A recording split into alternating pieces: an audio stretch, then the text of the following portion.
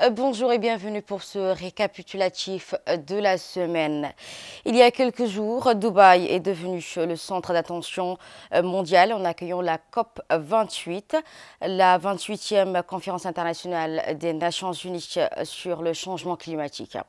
Cet événement d'une importance cruciale euh, s'est déroulé dans un contexte où le réchauffement planétaire atteint des niveaux alarmants, marquant l'année 2023 par des catastrophes climatiques et de record euh, de chaleur sans précédent. L'urgence climatique euh, est une réalité euh, qui se fait de plus en plus pressante. Les effets du réchauffement climatique se font déjà sentir dans le monde entier. Ils se feront que s'aggraver de jour en jour. Élément de réponse dans cette séquence.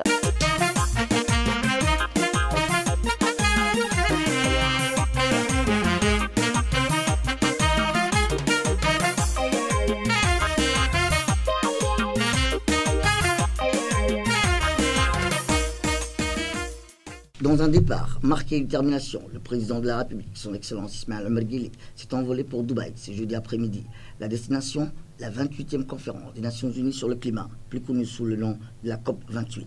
Cette grande messe mondiale, symbole de lutte contre le réchauffement climatique, réunit des grands acteurs de la planète pour définir les contours d'une action globale.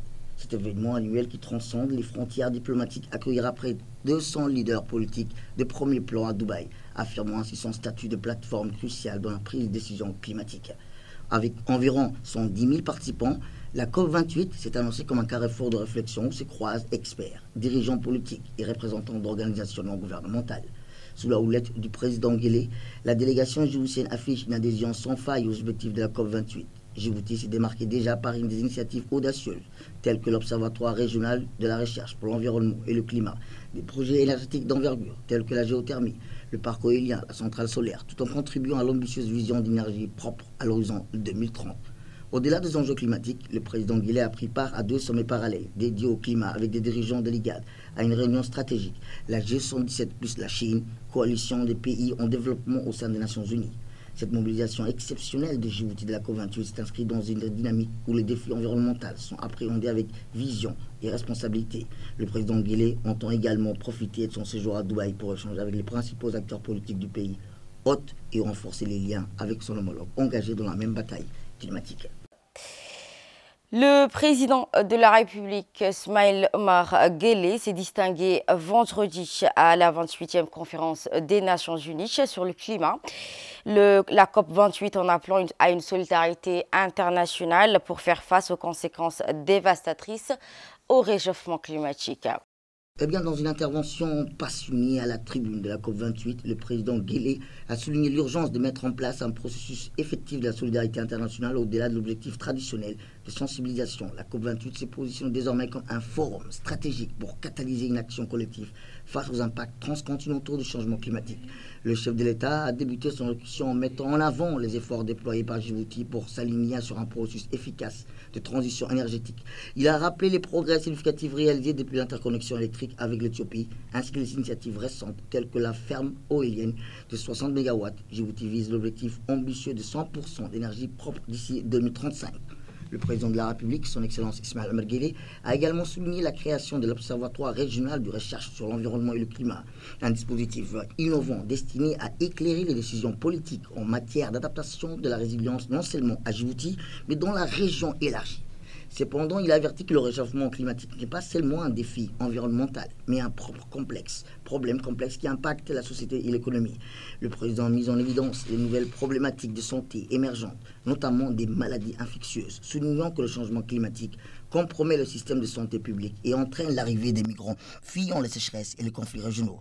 Le cœur de son discours réside à son appel présent sur une solidarité internationale efficace, notamment en ce qui concerne le financement promis pour l'adaptation du changement climatique conformément à l'accord de Paris. Le président Guillet a plaidé en faveur d'une application rapide du principe de responsabilité commune en exhortant les nations à développer, à respecter leur engagement pour assurer une transition juste. Cette intervention remarquable du chef de l'État, son Excellence Ismaël Mergueli, souligne le rôle crucial des dirigeants africains dans la formulation d'une réponse globale aux défis du climat, appelant à une action unifiés pour sauver notre planète. Djibouti en lumière, ovation majestueuse pour Ilan d'économie. Djibouti, berceau de l'effervescence économique dans la Corne de l'Afrique, a écrit un nouveau chapitre de son histoire avec l'inauguration grandiose de la Foire internationale 2023 cette année. Dans une atmosphère électrique, le président de la République, Ismaël Marguerite, et la première dame, ont euh, été acclamés euh, par des ovations debout, symbolisant l'admiration et le respect euh, pour leur leadership et leur engagement pour le développement du pays.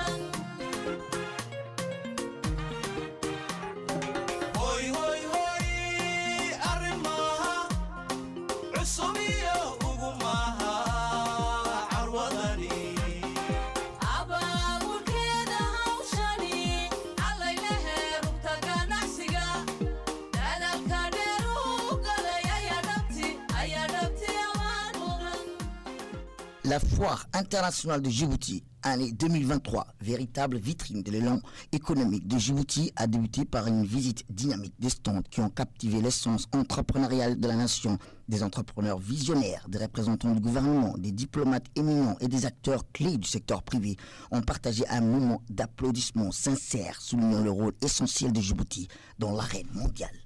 L'événement a transcendé les frontières diplomatiques, rassemblant une assemblée diversifiée symbolisant l'unité et la coopération.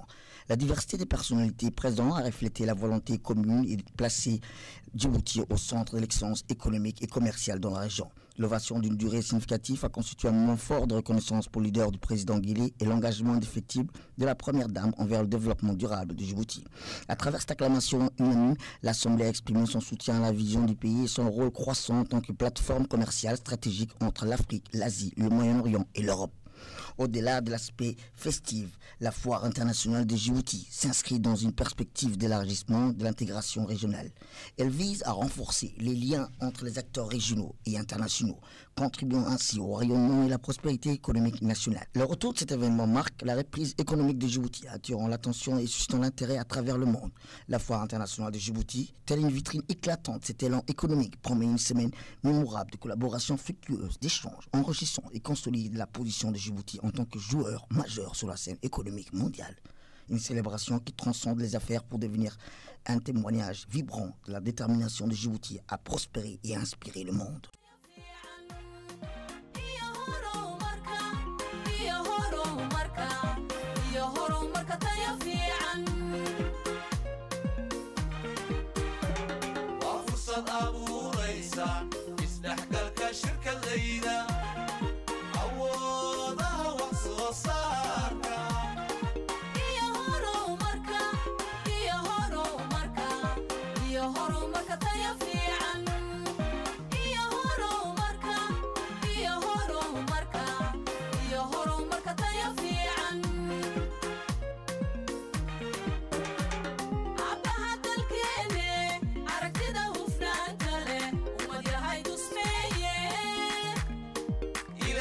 悲しが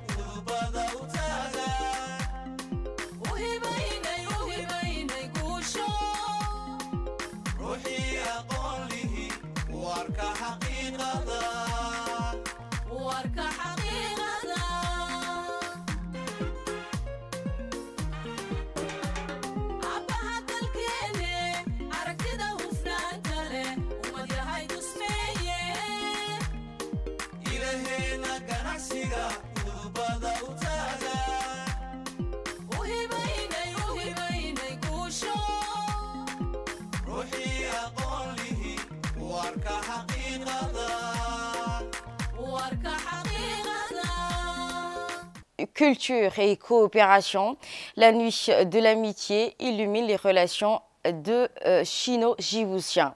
Le palais du peuple de Djibouti a été euh, a été le théâtre d'un événement mémorable, la nuit de l'amitié, célébrant ainsi les liens culturels entre la Chine et Djibouti.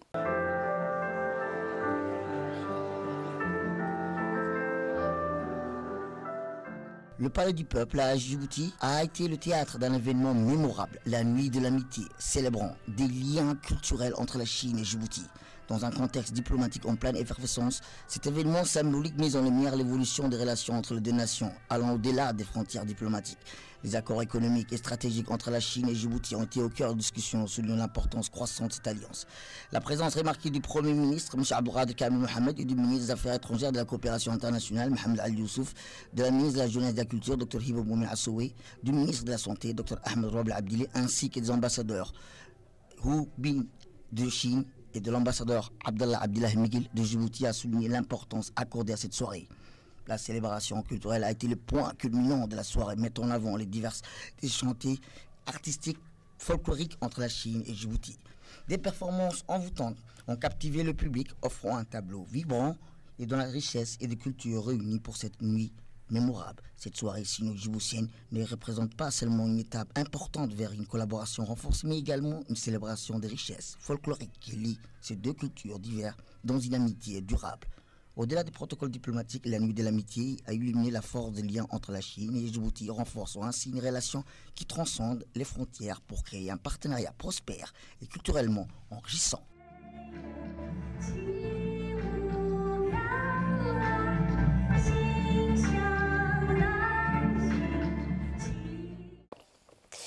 Et en nouvelle euh, du monde, départ prometteur de la COP 28 et création d'un fonds sur les pertes et dommages climatiques. Le coup d'envoi de la COP28 a été marqué par une annonce euh, majeure jeudi avec les Émirats arabes unis, euh, dévoilant la création d'un fonds dédié au financement des dégâts causés par le changement climatique, un geste fort auquel le pays hôte s'est engagé, s'apprêtant à verser 100 millions de dollars au fonds suivi par un engagement similaire par l'Allemagne. Le président sud-africain Cyril Ramaphosa a lancé un appel vibrant lors de la première journée de la COP28 à Dubaï, soulignant la nécessité urgente de mobiliser des fonds à une échelle bien plus grande pour les pays africains durement touchés par le changement climatique. Saluant les premières promesses faites en cours des négociations, le président Ramaphosa a néanmoins estimé que les fonds engageait notamment le lancement d'un fonds pertes et dommages d'environ 600 millions de dollars était largement insuffisant. Cela conteste, conteste plutôt fortement avec les attentes des pays les moins responsables du changement climatique qui réclament un financement annuel de 100 milliards de dollars. Les pays africains sont parmi les plus vulnérables aux effets d'un changement climatique rapide et doivent s'adapter au renforcement de leur résilience dans un contexte niveau de développement historique bas et de capacité sévèrement limitée, a souligné le président Ramaphosa. La première journée des négociations a également été marquée par un développement significatif de plus de 130 pays en acceptant d'intégrer l'agriculture et l'alimentation dans leur plan d'action. Cette déclaration, bien que non contraignante, a été saluée comme un pas en avant crucial, mettant en avant et enfin les systèmes alimentaires au centre des discussions sur le climat. Cyril Ramaphosa alarme et réclame des fonds euh, massifs pour l'Afrique. Après que la COP28 bat son plein à Dubaï, le président euh, sud-africain Cyril Ramaphosa a élevé sa voix pour une cause cruciale, mobiliser des fonds d'urgence à grande échelle afin de faire face aux ravages du changement climatique en Afrique. Un appel pressant qui résonne au, cœur, qui résonne donc dans les cœurs des négociations mondiales, soulignant ainsi l'urgence d'une action euh, concertée pour répondre aux euh, besoins euh, criants des nations les plus vulnérables face à la crise du changement climatique.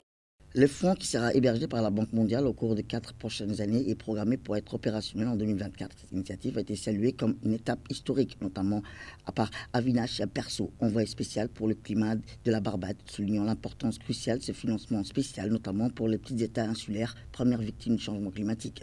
Cependant, malgré cet accord fondateur, des questions cruciales demeurent en suspens, notamment celle de l'éligibilité des pays bénéficiaires de la gestion de long terme du fonds. Lola Valerio, directrice du programme du climat, de think tank a rappelé qu'elle salué le départ constructif de la COP28 tout en soulignant la nécessité de résoudre ces questions, y compris la durabilité des sources de financement. Alors que les Émirats arabes unis se distinguent en prenant l'initiative en tant que pays en développement, des précautions persistent quant à la pérennité des financements et la définition des critères éligibles. Un récent rapport des Nations unies estime que les pays en développement auront besoin de 387 milliards de dollars par an pour s'adapter au changement climatique, soulignant l'ampleur du défi à relever au cours de la COP cruciale.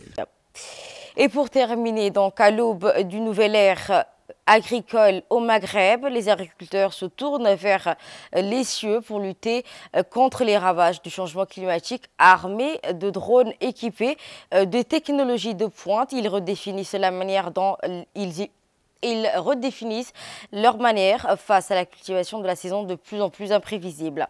Explorer euh, avec nous des révolutions vertes alors que les drones deviennent des alliés inattendus aux agriculteurs, offrant ainsi des solutions innovantes pour optimiser l'utilisation euh, de l'eau, réduire les coûts et augmenter euh, les rendements. Élément de réponse. Les agriculteurs du Maghreb confrontés aux défis du changement climatique adoptent de plus en plus la technologie moderne notamment les drones, pour optimiser leurs pratiques agricoles. En Tunisie, par exemple, où les saisons sont devenues moins prévisibles en raison du changement climatique, les agriculteurs cherchent des solutions pour faire face à la sécheresse et aux conditions météorologiques irrégulières. Des drones équipés des caméras multi-objectifs et des capteurs sont utilisés pour surveiller les cultures. Les startups tunisiennes RoboCare, dirigées par Imen Herbier, a proposé des services permettant d'évaluer l'hydratation des arbres, la qualité du sol et la santé générale des cultures. Ces informations aident les agriculteurs à prendre des décisions éclairées pour éviter des dommages irréversibles, selon Ebri.